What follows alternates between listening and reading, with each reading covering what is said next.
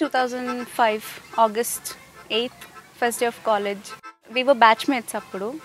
ఆ September fifth we were suppose to compare together teachers డేకి then we had a friction I mean I don't know what he thought నాకు మాత్రం బా వీడికి చాలా attitude ఎక్కువ పొగర్ ఎక్కువ. వీడితో మాత్రం మాట్లాడుకోడు జీవితంలో మాట్లాడుకోడు.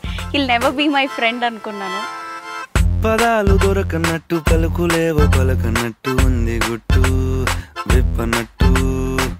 ఎడారి దారిలోన నువ్వు నాకు దొరికినట్టు దాహమంతా తీర్చినట్టు. దెన్ స్లోగా స్లోగా end of third year and all he's become one of my closest friends అనమాట whatever it is my crying shoulder my happy moment sharing and everything నా ప్రేమ పోగు చేసి నీకు ఇవ్వనా?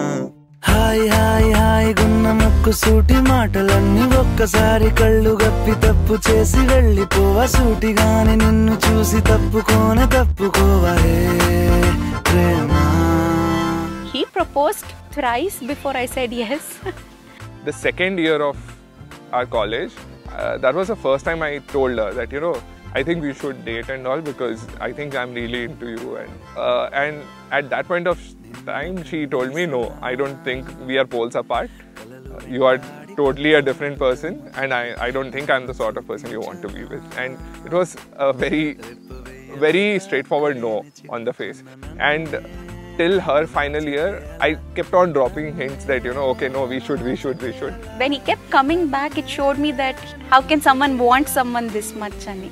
Maybe one day when he was there with me the entire day and we attended some party and suddenly he went away and I kind of missed his presence anmata. Maybe that was the trigger that I realized okay, I need him in my life.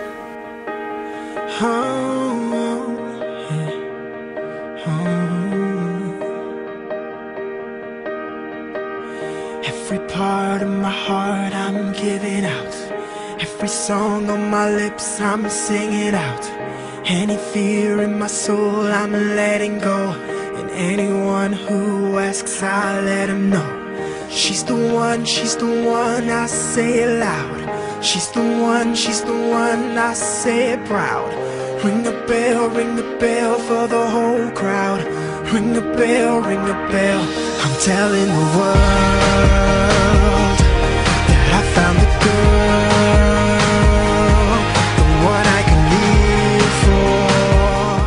very clear about the things he wants. Maybe he saw this day way before uh, I did.